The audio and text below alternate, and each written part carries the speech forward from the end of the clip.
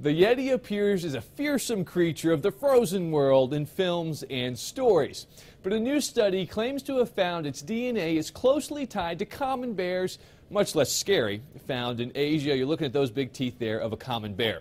Researchers studied bears in the Himalayan mountains, the notorious home of the Yeti.